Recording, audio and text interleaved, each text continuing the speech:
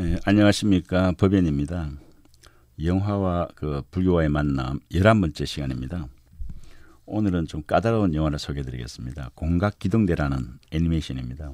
그 일본에서 이제 그 만화 공각기동대라고 나와요. 그러다가 이제 한 5년 뒤에 그 오시마모루라고 하는 감독이 그 애니메이션 공각기동대를 만듭니다. 이제 화질도 별로 안 좋아요 그때는요. 근데 그 뒤에 이제 공각기동대 2.0이라고 나왔는데 내용, 은 동일해요. 그림이 좀 더 정교합니다. 이제 2017년도에 얼마 되지 않았죠. 할리우드에서 이제 영화 그 공각기동대 나옵니다. 그 스칼렛 요한슨이 주연으로 나오죠. 그 제가 이제 앞으로 설명드릴 때는 그 애니메이션 공각기동대 또 영화 공각기동대 이렇게 구분해 설명해 드릴게요. 오늘은 그 애니메이션 공각기동대를 갖다 소개해 드리겠습니다.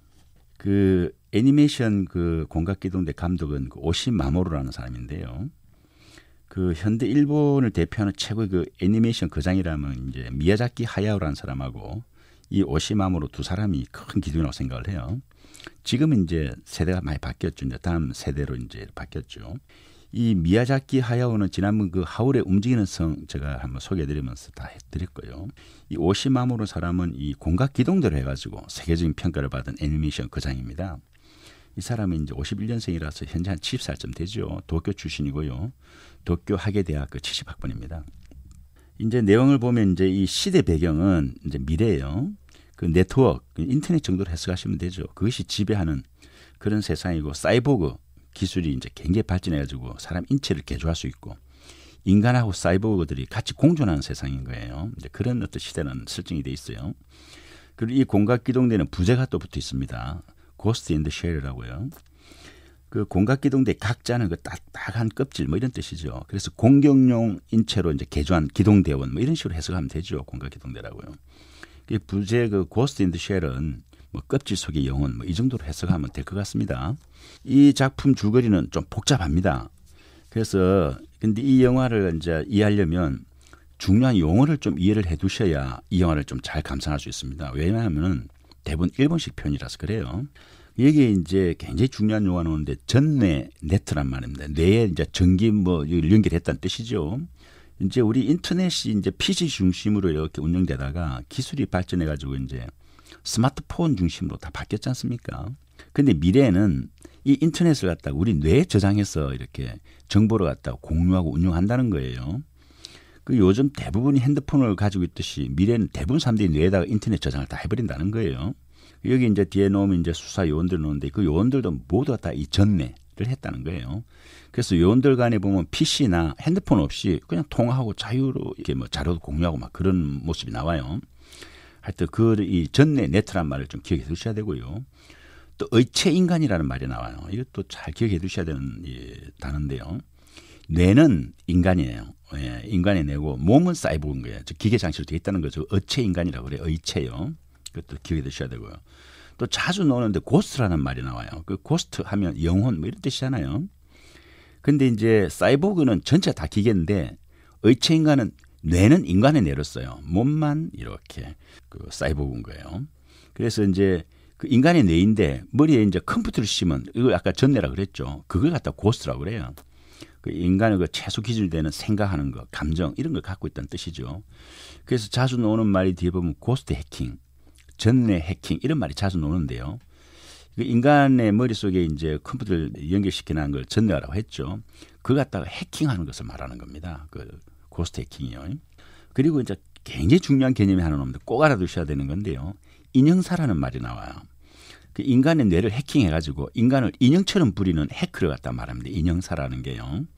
그래 이제 이 영화는 인형사라는 해커하고 이제 전쟁을 하는 것이 이 영화의 전개입니다. 일종의 사이버 테러 같은 거죠. 그리고 공안 국과라고 이제 나옵니다. 그 공각 기동대라는 이런 별명을 가지고 있어요. 수상의 그 직속 특수부대입니다. 임무는 그 전대 네트나 공안 관련된 테러 등 이런 건 사건을 담당하는 거고요. 그 요원은 그 여자 소령 쿠사나기라고 나와요. 거의 주인공격입니다. 그리고 바트, 토그사 뭐 이런 여러 사람이 나와요. 그 요원 대부분은 의체 인간들입니다. 이제 그렇게 이해하시면 되고요. 공안 육관은 이제 정부의 외교를 담당하는 그런 어떤 부서로 노는데 좀 중간중간 나옵니다. 이 첫 장면에 보면 이 영화예요. 이 외국 대사가 정부의 비밀 프로젝트 관련한 그 프로그램을 갖다가 해외로 빼돌려고 하는 그런 장면이 나와요. 그때 이제 쿠사나기 소령이 이제 대사를 갖다 암살을 해요. 그래서 이제 광학 미체라고 하는 걸 이용해 가지고 투명 인간처럼 유유 사라지는 장면이 나와요. 이 장면은 세계가 감탄한 명장면이에요. 굉장히 충격적입니다. 이 광학 미체란 말에 대한 좀 말이 해석이 좀 필요할 것 같은데요. 이 사람의 몸이 마치 그 투명 인간처럼 감춰지는 기능이에요. 미래는 이제 그런 게 있을 거라는 얘기입니다. 그리고 그 뒤에는 이제 그 쿠사나기 소령이 그 의체화되는 과정. 이제 뇌는 사람 뇌인데 몸은 이제 기계 사이보그라 했잖아요. 그런 의체화되는 과정을 보여주는데 그 비주얼이 대단합니다. 충격적입니다. 그리고 또 선정적이기도 하고요. 눈길을 못 떼요. 하여튼 그러게 놓다가 이제 대단한 장면들이 많이 나옵니다. 그 중에 참 잊혀지지 않는 장면인데요. 이제 이 국가, 이서 이제 수사 과정에서 이제 쓰레기차 청소부가 그 이제 자기한테 이혼을 통지한 부인의 마음을 좀 알고 싶어서 자기 부인의 고스트를 갖다 해킹을 이제 시도를 해요. 이제 뭔가 해킹하면 무조건 국가 수사관들이 달려들거든요. 그 쫓고 있는 중인데 그 청소부는 자신의 딸 사진을 가지고 주변에 자랑도 막 그럽니다. 그러다 결국 이제 수사관들에게 이제 잡히죠. 근데 잡히고 보니까 참 놀라운 일이 생긴 거예요. 이 청소부는 부인도 없고 그래서 당연히 이혼 소송도 없고 딸도 없는 사람이었어요. 이 청소부는 고스트 해킹을 당해서 자기 가짜 기억이 주입된 자기로 자기를 알고 있는 거예요. 그러면서 자기도 모르게 정부자를 해킹하고 있었던 겁니다. 이용당했던 거죠. 참 충격적인 어떤 그런 장면입니다. 그리고 그 이제 청소부를 해킹한 사람을 또 근거해요. 그 추적하고 또 격투하는 장면도 노는데요. 근데 알고 보니까 그 해킹한 사람도 역시 이영사에게 해킹당한 사람이었습니다. 이중 삼중을 해킹을 당하고 있었죠. 이런 모습을 보니 이제 쿠사나기 소령이 이제 번민합니다. 그 인간이란 원래 이 학습된 요즘 정보라고 얘기하죠. 이제 지식을요. 학습된 지식으로 그걸 기억에 저장하고 또 자기 방어 기제하고 섞어서 보통 자신이라는 그런 정체성을 만들지 않습니까 인간은? 그런데 이제 쿠사나기 소령도 의체인간이니까 혹여 정보부두에서 이제 입력시켜 놓은 어떤 정보 기구로 자기가 살아가고 있는 거 아닌가 하고 생각을 하는데요.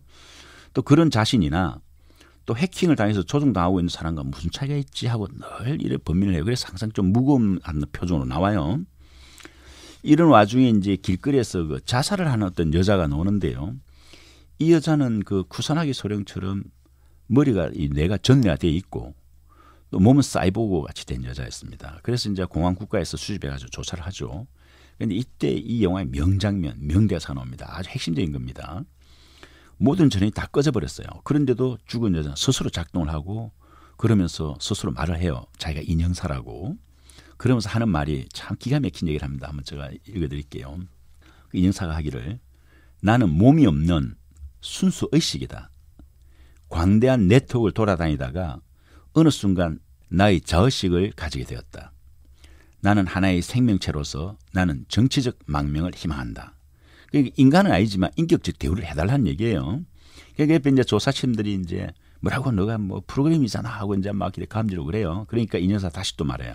너희 인간들 역시 DNA라고 하는 자기 보조 프로그램에 불과한 거 아니야? 이제 이렇게 얘기를 해요. 그리고 생명이라는 것은 유전자라는 기억 시스템을 가지고 기억에 의해 인간으로 인정받는 거 아니야? 이렇게 또 다시 한번 반문을 해요. 그래서 컴퓨터의 보급이 우리 기억을 갖다가 외부화를 가능하게 했을 때 당신들은 그 의미를 좀 더 진지하게 생각해 두었어야 했어. 뭐 이렇게 얘기를 하는 거예요. 이 무슨 말이냐면 우리는 기억으로 인간을 이제 이렇게 그 인정을 하는데 그 기억처럼 컴퓨터에다가 우리 정보를 갖다 저장해 두지 않습니까? 그 정보들을 모아가지고 그 정보들이 스스로 발전해서 인간과 같은 의식을 가지게 되었다는 그런 뜻입니다. 그러면서 나는 정보의 바다에서 태어난 생명체다. 이, 자, 이런 말을 해요. 아주 대단한 명대사입니다. 이거는 인간이란 무엇인가 이런 데 대한 반문 같은 거로 저는 느껴졌었어요. 그래서 이제 알고 보니까 이 인형사는 이 해커, 사람인 줄 알았는데 사람이 아니고 프로그램에서 발전한 그러면서 어떤 자기 정체성을 가지게 돼버린 그런 프로그램이었습니다. 이후에 이제 이 구사나기는 그 자살한 여자 의체와 이제 접속을 시도하려고 하면서 이 영화가 전개되는데요. 여기서 이제 인터넷 접속을 dive라고 표현을 합니다. 물에 다이빙 한다는 뜻이죠. 그 좀 설명이 좀 필요할 것 같은데요. 정부 기관이나 군대 같은 데는 그 일반인들 쓰는 인터넷 라인과 같은 그런 인터넷 라인을 쓸 수 없습니다. 왜냐하면 적들이 이제 정부나 군의 주요 정보를 해킹할 수 있기 때문에 그런 거거든요. 굉장히 위험하죠. 그래서 구산하기 소령이나 요원들은 다 군이나 정부에서 쓰는 특별히 이제 인터넷 라인을 갖다 이제 사용하고 있는데요. 그런데도 이제 구산하기 소령은 그 인형사의 정체를 파악하기 위해서 죽은 여자 어체에 이제 접속을 하려고 하는 것이 이제 영화에 이제 진행이 되는 거예요. 하여튼 이제 이러면서 뒤에 다 되는데 이 영화를 좀 정리해야 되겠네요. 참 상당히 난해하죠. 설명이 그래서 좀 많이 길어졌어요. 이제 저는 이 명대사들 참 이래 보면요. 이제 쓰레기차 그 청소부하고 수사관하고 대화하는 장면에 그 청소부가 말해요. 자기가 이제 해킹된 잘못된 기억을 가지고 있잖아요. 그래서 그 거짓 꿈을 어떻게 하면 지울 수 있죠? 하고 물어봅니다. 참 자극적인 말로 저는 생각이 들어져요. 저한테는요. 근데 그 뒤에 이제 요원 바토가 존재하는 정보, 우리 기억을 말하는 거예요. 존재하는 정보는 모두 현실인 동시에 환상이야. 어쨌건 한 인간이 평생 접하는 정보는 한 줌밖에 안 돼. 이런 말을 해요. 저는요. 이 영화의 최고의 명문장을 꼽아라면 난 이 문장을 꼽겠습니다. 참 대단한 말이라고 저는 생각을 해요. 하여튼 이 모든 게 다 충격적인 전개죠. 지난 많은 영화에서는 이제 사이보그가 인간으로 대우받기를 원하는 그런 장면들이 많이 있습니다. 여러분 다 아시다시피 영화 뭐 AI나 Bicentennial Man이라든가 그런 데서 보면 그런 게 있습니다. 최초로는 그 Blade Runner라고 하는 영화에서 그런 질문을 해요. 그런데 이 영화에서는 그런 사이보그가 아니고 프로그램이 인간처럼 대우해달라고 이제 요구하는 겁니다. 아주 대단한 어떤 그런 상상력이죠. 제가 이렇게 해석을 해드리는데 해드리면서도 여러분 듣는 것도 또 난해할 것 같아요. 저도 여러 번 봤어요. 그래서 그이 영화는 그 일본 원작이다 보니까 이제 일본식 용어가 많죠. 그래서 좀 이해 어려운 부분이 있고요. 또 만화로 된 원작이다 보니까 만화는 천천히 읽으면서 이해되고 나서 다음 장 넘길 수 있는데 영화지 않습니까? 그러다 보니까 대화가 아주 빠르게 진행돼요. 그래서 영화에 집중이 잘 안 돼요. 그래서 여러분들이 이 용어나 정보를 조금만 이해하시면 상당히 재밌을 수 있습니다. 생각할 게 많고요. 그래서 저는 이 영화를 우선 스카레 요한슨이 나한테 영화 공각기동대 를 갖다가 먼저 보는 걸 권합니다. 제가 볼 때는 그 영화는 공각기동대 비인자 같은 그런 느낌이에요. 용어라든가 주요 정보에 대해서 예습할 수 있는 어떤 그런 성격을 가지고 있어요. 그리고 나서 애니메이션 공각기동대를 보면 아마 여러분들 굉장히 쇼킹할 겁니다. 오늘은 이제 책 소개를 못 해드리겠네요. 불교 얘기를 해야 되겠습니다. 인간이란 무엇인가? 이에 대한 질문을 던진 영화가 많이 있었습니다. 82년도에 그 Blade Runner라는 영화는 이런 철학의 최전위에 있는 영화라 생각을 하죠. 그런데 인간이 오히려 기계 같아요. 그리고 사이보그가 더 인간적이고 또 인간이 질문을 합니다.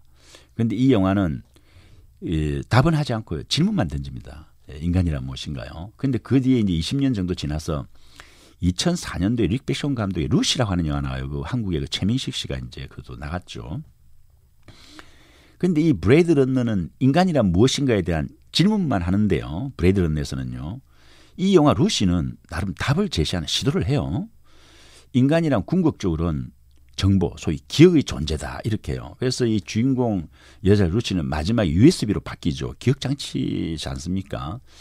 이런 식으로 바뀌는데 이 영화 루시 이후에 13년 뒤에 17년도죠. 몇 년 전에 이제 스칼렛 요한슨의 영화 공각계동대가 나오게 되는데요.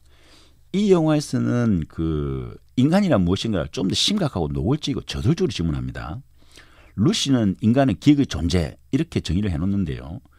이 영화 공각기동대에서는 좀 더 진보된 정의를 내놓는데 인간이란 궁극적으로 기억의 존재는 맞는데 그 기억은 본질적인 본성이 아니다라고 얘기를 해요. 즉 조작되기도 하고 스스로 왜곡, 변질될 수 있다 이런 말이에요. 우리 이제 다 아시는 얘기겠지만 원효 스님께서 이제 의상 스님하고 당나라로 가시려다가 이제 해골물 마시는 거 아시죠? 그 백제군에 쫓겨가지고 막 죽을 고비를 넘기다가 어두운 공간에서 겨우 피신했죠. 너무도 목이 말라 이제 옆에 물도 맛있는 센 물을 먹고 이제 코라 떨어지시죠. 아침에 일어나서 그 물을 찾으니까 그 물이 센 물이 아니고 해골물이었어요. 그죠? 구토를 하다가 그 원효 스님이 각성했다는 거 아니에요? 어제는 그렇게 맛있었는데 오늘 아침에 보고 나니 구역질이 났다는 거예요. 해골물이 구역질을 유발하는 그런 것이라면 어젯밤에도 구역질을 했어야 되는데 어제는 너무 맛있었고 오늘 구역질 한다는 거예요. 그럼 이 구역질은 그 물 때문인가 아니면 나의 눈 또는 마음 때문인가 하면서 이제 그때 그 각성을 오도속 남겨놓은 게 있잖아요. 읽어보면 이제 심생적 종종법생, 신멸적 총노불이, 삼계유심이요 만법유식인이라는 유명한 오도송이 남죠. 해석을 해보면 이제 마음이 일어나니 세상이 따라서 일어나고 마음이 사라지니 해골물이 둘이 아니로구나. 뭐 맛있다, 구역질난다 이런 게 둘이 아니라는 거죠. 이 온 세상이 오직 마음의 소변이요. 이 모든 세계가 식의 요변이로다. 뭐 이런 뜻이죠. 전에도 말씀드렸다시피 여러분들은 불교로 마음의 종교라고 하시는데요. 불교에서는 마음이라고 하는 것을 세 단어로 사용한다 말씀드렸죠. 심의 식으로요. 여기서 식은 기억의 속성이 아주 강한 것이라고 말씀드렸습니다. 그래서 식을 이제 아레아식, 뭐 저장식 이래 하잖아요. 아레아란 말이 저장하다는 뜻인데요. 즉 저장된 식, 저장된 기억동을 해석하는 겁니다. USB하고 같은 개념인 거죠. 이세 개는 이 불교의 아레아식 사상에서 말하는 것처럼 인간의 본질을 기억으로 이야기 시작하는 것 같습니다. 불교에서 기억, 마음을 중심으로 설하신 이런 경전이 있는데요. 그걸 갖다 유식사상이라 하거든요. 이 불교의 유식사상은 기억으로만 결론 내리지 않고 나아가 공이라고 얘기를 해요. 공이란 말은 변질한다는 뜻입니다. 나가서 조작, 왜곡이 가능하다는 뜻도 돼요. 이것을 이제 무자성이라고 하는 거예요. 무자성은 자성이 없다는 뜻인데 무아란 말 비슷하죠. 공의 동요라고 이제 보시면 돼요. 이 공각 기동대는 일본 태생이고 일본 지식인들 어린 시절부터 자연스럽게 그 불교 사상에 접하면서 이 불교적 철학이 영화에 스며든 거 아닌가 하는 생각을 좀 해봐요. 저는 영화를 보면서 정말이지 세계의 지성사는 불교 사상을 해석하는 역사 같은 좀 느낌이 들었습니다. 그래서 이 점에서 제가 이 애니메이션 공각 기동대를 소개해 드리는 겁니다. 아, 마무리하면서 제가 이 인간을 너무 미분적으로 이렇게 자꾸 해석을 해서 여러분 마음에 안 드실 수 있다는 생각이 좀 드는데요. 인간이 우주의 전부요 주인이라는 적분적 해석도 할 수 있을 건데도 말이죠. 불교에 또 이런 적분적 해석도 있습니다. 제가 다음에 한번 또 말씀드릴 그런 기회가 있으면 좋겠는데요. 하여튼 좀 너무 이렇게 미분적해서 죄송합니다. 좀 어려웠고 무거웠죠? 들으시느라고 수고 많았습니다. 생각해 보면 불교가 어려운 것이 아니고 불교 용어가 어렵다는 생각이 좀 듭니다. 앞으로 좀 제가 쉽게 설명해 드리도록 노력하겠습니다. 여러분. 오늘도 좋은 날 되십시오. 여러분 성불하십시오.